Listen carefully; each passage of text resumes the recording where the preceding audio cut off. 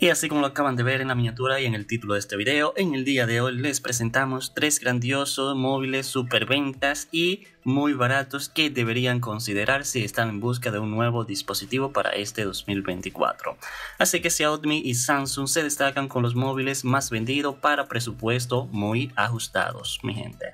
Así que si estás buscando un móvil que sea bueno y barato, el listado de smartphones más vendido en Amazon esta semana podría ofrecerte la respuesta. Entre lo más destacado, el Samsung Galaxy A15 y el Redmi Note 13 comparten el podio de los más vendidos, ambos con precios realmente accesibles, mi gente, así que aprovechen. La situación económica actual puede estar influyendo en la preferencia por estos dispositivos de bajo costo que están teniendo una excelente acogida por todos los usuarios. Así que los móviles económicos no tienen por qué ser de mala calidad. Hace unos años las diferencias de rendimiento entre gamas eran muy marcadas, pero hoy en día esto ha cambiado. Actualmente es posible adquirir un móvil de 200 dólares con un rendimiento general comparable a dispositivos que cuestan entre 800 y 1000 dólares. Estos dispositivos permiten disfrutar de una navegación rápida y fluida, capturar fotos de manera confiable sin cierres inesperados y visualizar la pantalla sin problema incluso bajo la luz solar directa, sin necesidad de hacer sombra con la mano. Así que vamos a iniciar con el Redmi Note 13 4G. Este smartphone de gama media ofrece un rendimiento decente gracias a su procesador Snapdragon 685, acompañado de 8 GB de RAM y 256 GB de almacenamiento interno, ampliable mediante tarjeta micro CD, con un diseño delgado de solo 8 milímetros de grosor y una pantalla AMOLED de 6,67 pulgadas a 120 Hz.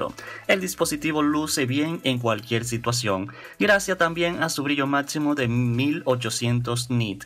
Además cuenta con un puesto para auriculares, o sea, un puerto para auriculares, para eso que lo buscan. Una batería de 5000 mAh, mi gente, con carga rápida de 33 watts. Y una cámara trasera Samsung de 108 megapíxeles que ofrece resultados bastante buenos.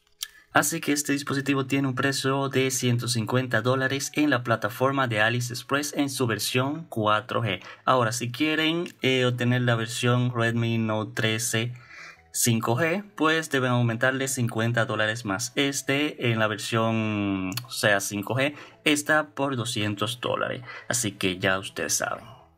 Y ahora continuemos con el Samsung Galaxy A15.